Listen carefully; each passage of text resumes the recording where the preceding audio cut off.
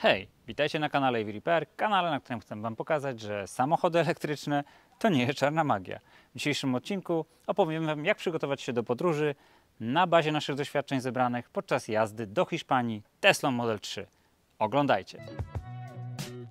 Naszą podróż przede wszystkim powinniśmy przygotować od zaplanowania pewnych rzeczy. I najważniejszą rzecz, którą musimy zaplanować, albo inaczej, musimy ją mieć, to jest pełne ubezpieczenie za granicą, a dodatkowo bardzo dobry asystent, który pozwoli nam ten samochód scholować do najbliższego warsztatu, albo nawet i do kraju, jeżeli będzie taka potrzeba lub będziecie tak chcieli. Także bardzo mocno o tym pamiętajcie, szukajcie takich ofert przed podróżą, żeby być tej, od tej strony dobrze przygotowany. Następna rzecz, e, do której musimy się przygotować, albo inaczej, dobrze ją zaplanować, to jest trasa. E, dobre przygotowanie do trasy i rozplanowanie sobie przejazdów spowoduje, że unikniecie pewnych problemów, między innymi takich problemów, które spotkały nas, czyli zarejestrowanie się we wszystkich strefach niskoemisyjnych czy zeroemisyjnych w większych miastach europejskich. E, jak będziecie wyznaczać swoją trasę, sprawdźcie, czy takich tam nie ma stref, zarejestrujcie się, żeby uniknąć mandatu, bo to, że jedziecie Teslą, nie jest jednoznaczne z tym, że, tego, że takiego mandatu nie otrzymacie. Musicie się zarejestrować, dopiero wtedy, jeżeli otrzymacie potwierdzenie, możecie bezpiecznie wjechać do takiej strefy. Między innymi na przykład na naszej trasie takimi miastami była Antwerpia, a oprócz tego niedaleko była Bruksela. Dodatkową rzeczą związaną z planowaniem trasy jest to, że powinniście, a najlepiej będzie, jeżeli zaplanujecie sobie trasę w kontekście takim, że będziecie wiedzieli, gdzie przejeżdżacie, gdzie będziecie się zatrzymywać i mniej więcej, gdzie będziecie chcieli się ładować. Dlaczego to jest ważne? Jest to ważne dlatego, że między innymi będziecie w stanie połączyć parę rzeczy naraz. Chodzi o to, że dosyć ważnym jest to, aby połączyć ładowanie na przykład z posiłkiem. Jeżeli połączymy posiłek z ładowaniem, no to tak naprawdę te dwie rzeczy zbiegną nam się podczas jednego czasu i de facto tego czasu nie będziemy marnować. Jeżeli będziemy się zatrzymywać dodatkowo na posiłek, dodatkowo na ładowanie, to podróż nam się, podróż nam się wydatnie wydłuży. Dlatego też sobie to w pewien sposób zaplanujcie. Oczywiście wiadomo, że jeżeli jedzie się z dziećmi, planowanie takich rzeczy jest prawie niemożliwe, ale warto przynajmniej się w jakiś sposób do tego przygotować. Dodatkowo, dlaczego jest to ważne? Jest to ważne też ze względu na ładowanie. Oczywiście, jeżeli jedziecie Teslą Model 3 czy jakąkolwiek inną Teslą, najczęściej będziecie korzystać z sieci Supercharger. Aczkolwiek na przykład w takich państwach jak Hiszpania sieć Superchargerów jeszcze nie jest tak gęsta jak, nie wiem, we Francji, czy w szczególności Holandii, czy w Niemczech. E, I tutaj może Wam się zdarzyć ładować na innych ładowarkach. Dlatego też warto albo mieć jakąś kartę roamingową, albo zalogować się, czy tam ściągnąć sobie aplikację jakiegoś lokalnego, popularnego prowajdera. Akurat my w Hiszpanii korzystamy głównie z Ibedroli. Nie zalecamy, to nie o to chodzi, że kogokolwiek reklamujemy. Akurat myśmy tak e, zrobili, tak korzystamy. Jesteśmy relatywnie zadowoleni, chociaż aplikacja mogłaby działać troszeczkę lepiej. No i taka dodatkowa, bardzo drobna rzecz. Myśmy akurat na początku też o tym nie wiedzieli, to było dla nas trochę takie frustrujące, e, żeby w momencie, kiedy jedziecie, sprawdzić, czy na danym superchargerze nie ma na przykład jakichś kodów wjazdowych, czy jakichś innych sytuacji, które są wymagane, aby skorzystać z superchargera. Bardzo często takie sytuacje występują właśnie w Hiszpanii i we Francji, że trzeba podać na przykład kod dostępowy do bramy. E, my mieliśmy taką bardzo zabawną, bardzo zabawną sytuację, że myśmy nie wiedzieli, co trzeba zrobić. Szczytywaliśmy jakiś numer z bramy i usiłowaliśmy na niego zadzwonić, e, jak na normalny telefon. E, oczywiście to było zupełnie inaczej, musieliśmy wpisać kod, żeby brama nam się otworzyła. Dlatego lepiej sobie takie rzeczy sprawdzać po prostu troszeczkę wcześniej. No i to tyle, jeżeli chodzi o takie teoretyczne przygotowanie do trasy. Jest jeszcze jedna ważna rzecz, o której należy pamiętać i to, na to zwróćcie szczególną uwagę, bo może Wam się zdarzyć zapomnieć i nie ukrywam, teraz mogę o tym jasno powiedzieć, nam się zdarzyło kiedyś zapomnieć. Tesla Model X przejechaliśmy kiedyś całą Europę, nie posiadając fizycznego, papierowego dowodu rejestracyjnego. W krajach innych Unii Europejskiej niż Polska ten dowód, który mamy normalnie w M-Obywatelu jest niehonorowany. Nie możecie tego po prostu obywatela przy policji odpalić i pokazać i to będzie niehonorowane. Musicie mieć fizyczny, papierowy dowód rejestracyjny. Nie zapomnijcie o tym, bo możecie bardzo przykro się zaskoczyć. E, dlatego jeszcze raz przypominam, dowód rejestracyjny w wersji papierowej, gdy wyjeżdżamy za granicę Polski, musimy ze sobą mieć.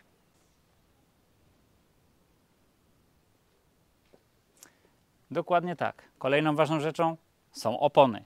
Zadbajcie o to, żeby mieć dobre opony, czyli żeby przede wszystkim głębokość mierznika była według norm, a dodatkowo, żeby te sezony, e, przepraszam, te opony były dostosowane do sezonu, w jakim akurat pojazd się znajduje.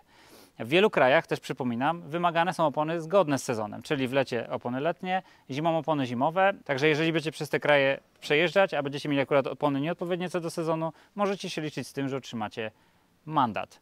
Myśmy bardzo przykro się też przekonali o jednej ważnej rzeczy. E, w momencie, kiedy w Polsce jeszcze było w miarę chłodno, to był bodajże grudzień, e, myśmy jechali do Hiszpanii, nie, przepraszam, to był luty, jechaliśmy do Hiszpanii, pojechaliśmy na zimówkach i jeden komplet opon zimowych w Tesla Model S, któreśmy kompletnie roz, rozwalili. Opony były całkowicie objechane, podrywały się lamele, ze względu na to, że temperatury w owym czasie w Hiszpanii były bardzo wysokie, tam 20 parę stopni. E, także też na to zwróćcie uwagę i rozważcie, w jaki sposób chcecie się do ciepłego kraju, czy tam na przykład na południe Europy dostać z Polski, w momencie, kiedy u nas panują jeszcze warunki zimowe. Teraz przejdźmy gładko do tego, co warto ze sobą zabrać, albo inaczej, co ja uważam, że nawet trzeba ze sobą mieć w kontekście wyposażenia samochodu. Pierwsza i podstawowa rzecz, e, i to też jest bardzo często wymagane w niektórych krajach, to jest taki zestaw, tak? czyli apteczka, trójkąt, kamizelka. Przypominam, że to jest taka kamizelka, czyli kamizelka odblaskowa. W wielu krajach taka kamizelka jest też wymagana. Dodatkowo oczywiście trzeba mieć też gaśnicę. My oczywiście ją mamy z tyłu w bagażniku. Także o tym należy pamiętać i to często policja w krajach e, innych niż Polska sprawdza. E, ja oprócz tego zawsze ze sobą wożę parę, parę takich rękawic, w razie gdybym musiał coś przy samochodzie zrobić, nie wiem, ściągnąć koło, czy w, w innych Teslach na przykład ściągnąć kołpak, cokolwiek. Zawsze dobrze mieć takie rękawice, żeby się po prostu niepotrzebnie nie ubrudzić. Teraz przejdźmy do elementów związanych z ładowaniem. Tutaj jest troszeczkę więcej opowiadania. Szczególnie, że, że my wozimy ze sobą ładowarkę też dosyć specyficzną, jak dla Tesla Model 3. Normalnie z Tesla Model 3 takiej ładowarki nie dostajecie. To jest UMC generacji pierwszej, jeżeli dobrze kojarzę, albo drugiej, ale raczej jedynka. E, dlaczego to wozimy? Dlatego, że to nam troszeczkę rozszerza możliwości. UMC1, UMC2 pozwala nam się ładować również e, z prądu trójfazowego. Taką oto przejściówką. Ta przejściówka to jest przejściówka 16 A na 3 fazy. Dodatkowo przy zastosowaniu adaptera takiego jak ten, już nie będę go do końca wkładał, chodzi tylko o to, żeby pokazać, możemy ładować się z trzech faz 32 A. Aczkolwiek tutaj w tym samochodzie nie ma to żadnego sensu, to ty, tylko chodzi o to, żeby ewentualnie dostosować się do gniazda. Gniazdo 32 A po prostu wy, występuje częściej. Tesla Model 3, jak i UMC nie przekaże więcej jak 11 kW na trzech fazach. I to jest jedna z przejściówek. Dodatkową przejściówką, która też występuje w innej troszeczkę formie w UMC3, czyli w tym urządzeniu, które dostajecie z Tesla Model 3 czy z Tesla Model Y, jest właśnie to niebieskie, niebies, ten niebieski adapter. Ten niebieski adapter ma jedną fajną e, specyfikę, czyli pozwala się przy, przy trójfazowym gnieździe 32A ładować nam się z mocą 32A na jednej fazie, czyli około 7,4 kW. W ten sposób uzyskujemy możliwość uzys właśnie ładowania się z 7,4 kW, nawet jeżeli mamy tylko przyłącze jednofazowe, przypominam oczywiście 32 amperowe. I ostatnia przejściówka, najbardziej standardowa, Szuko.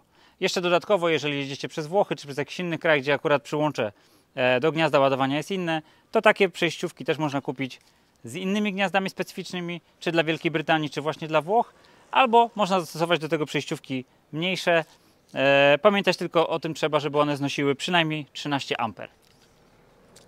I jeżeli chodzi o ładowanie e, z sieci, to nam załatwia większość możliwości ładowania. Oprócz tego warto mieć ze sobą taki kabel.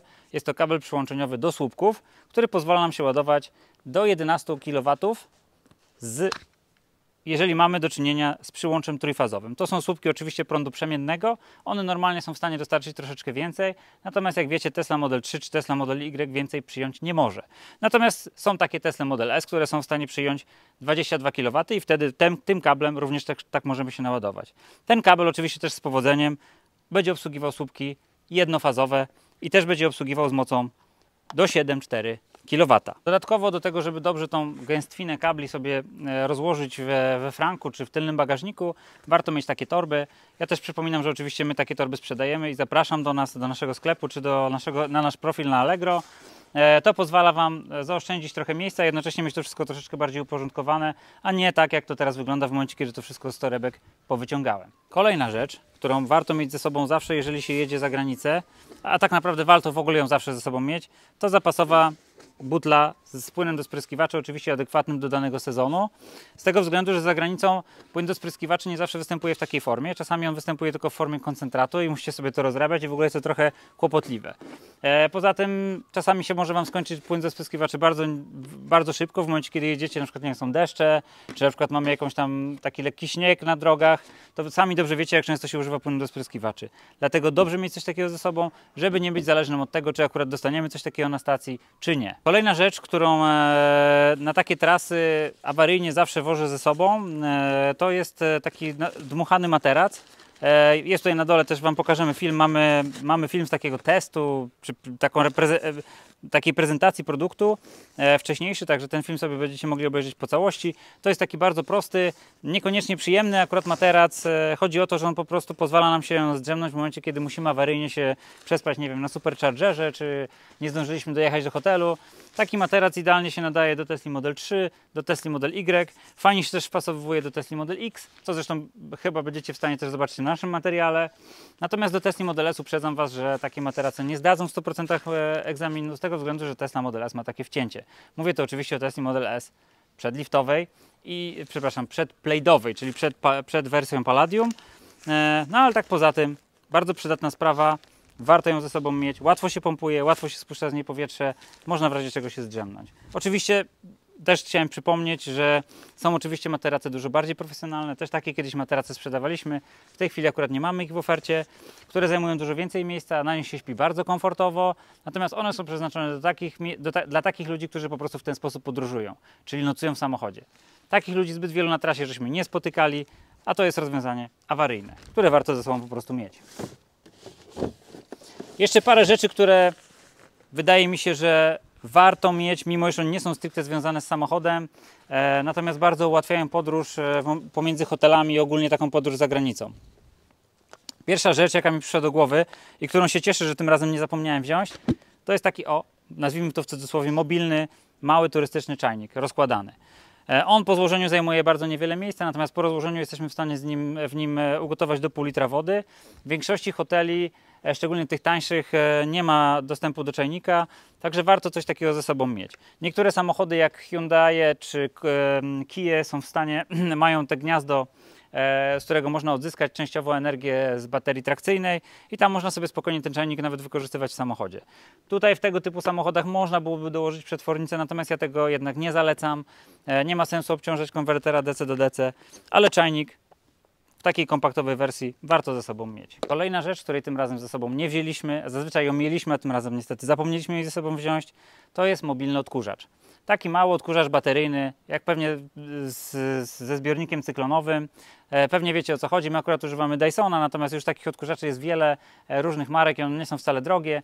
Bardzo dobrze ze sobą coś takiego mieć. To pozwala Wam utrzymać czystość w podróży, niekoniecznie zjeżdżając na jakieś e, odkurzacze wrzutowe czy na jakieś myjnie.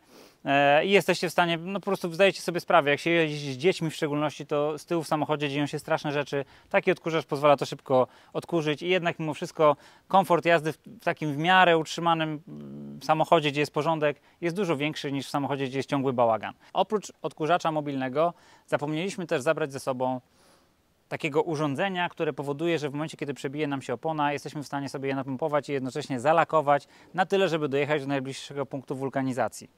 Eee, Tesla normalnie takie urządzenie sprzedaje, można je kupić w sklepie Tesli. My akurat też mamy chyba takie urządzenie w dostępności. Zestaw składa się z kompresora i z takiego, mm, jakby to nazwać, takiego kartridża, w którym jest ten cały płyn, który wypełnia nam oponę i pozwala ją na jakiś czas zalakować.